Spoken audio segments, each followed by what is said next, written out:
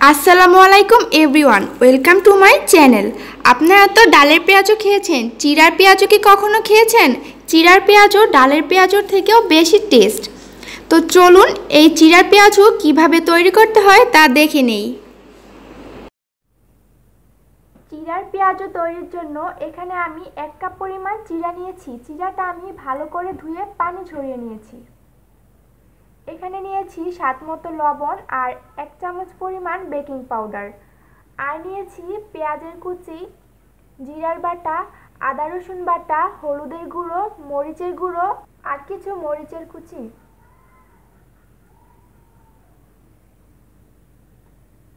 এখন আমি একটি মিক্সিং বলে চিরা নিয়েছি। এখন এতে দিয়ে দিচ্ছি পেঁয়াজের কুচি। আমি এখানে বেশি পেঁয়াজের কুচি নিয়েছি, যেহেতু এটা পেঁয়াজু, তাই বেশি পেঁয়াজের কুচিটাই দেওয়া দরকার। এখন দিয়ে দিচ্ছি কাঁচামরিচের কুচি। দিয়ে দিচ্ছি আদা রসুনের পেস্ট। দিয়ে দিচ্ছি জিরা বাটা। দিয়ে দিচ্ছি হলুদের গুঁড়ো।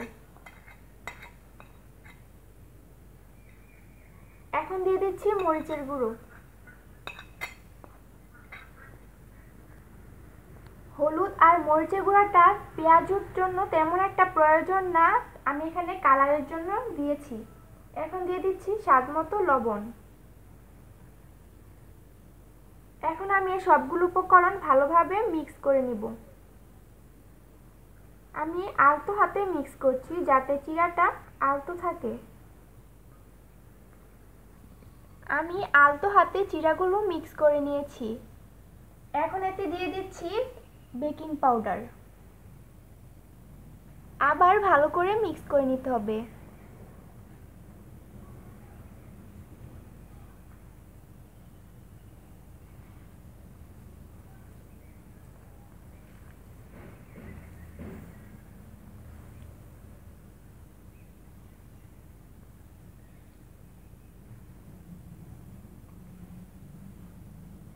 আপনারা চাইলে এখানে পানি দিতে পারেন।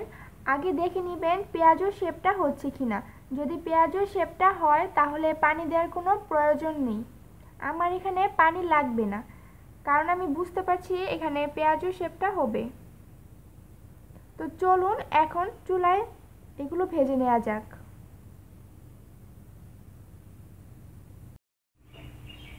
পেঁয়াজগুলো ভাজার জন্য আমি চুলায় একটি প্যান বসিয়ে তাতে তেল দিয়ে দিয়েছি।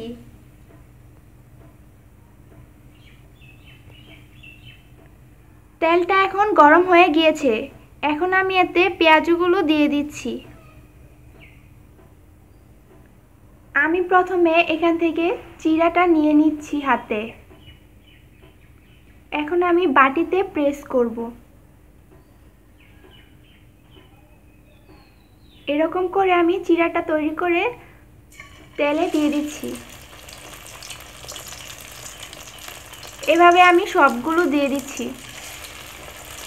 আমি এখানে বড়ার মতো করে করিনি, কারণ বড়ার মতো করে করলে এখানে ক্রিস্পি ভাবটা আসবে না, ভিতরটা নরম নরম হয়ে যাবে।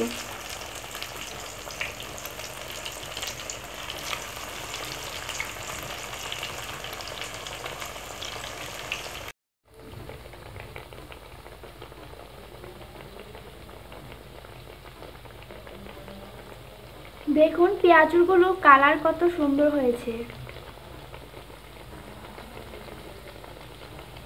এই পেঁয়াজটা কিন্তু ডালের পেঁয়াজুর থেকেও বেশি টেস্ট খেতে।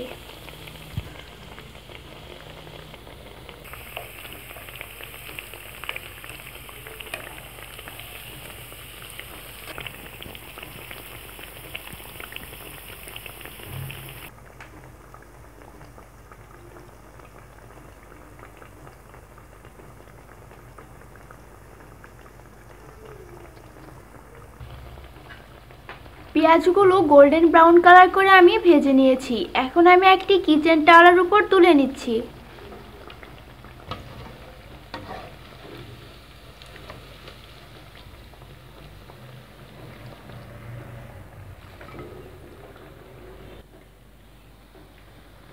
এরকম করে আমি সবগুলো পেঁয়াজও ভেজে নিব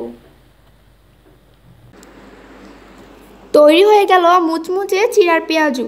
দেখুন, পেঁয়াজুগুলোর কালার কত সুন্দর হয়েছে এবং দেখতেও কত সুন্দর হয়েছে। আশা করি আমার ভিডিওটি আপনাদের সবার কাছে ভালো লেগেছে। ভালো লাগলে অবশ্যই আমার চ্যানেলটি সাবস্ক্রাইব করবেন। সবাই ভালো থাকবেন, সুস্থ থাকবেন। আল্লাহ হাফেজ।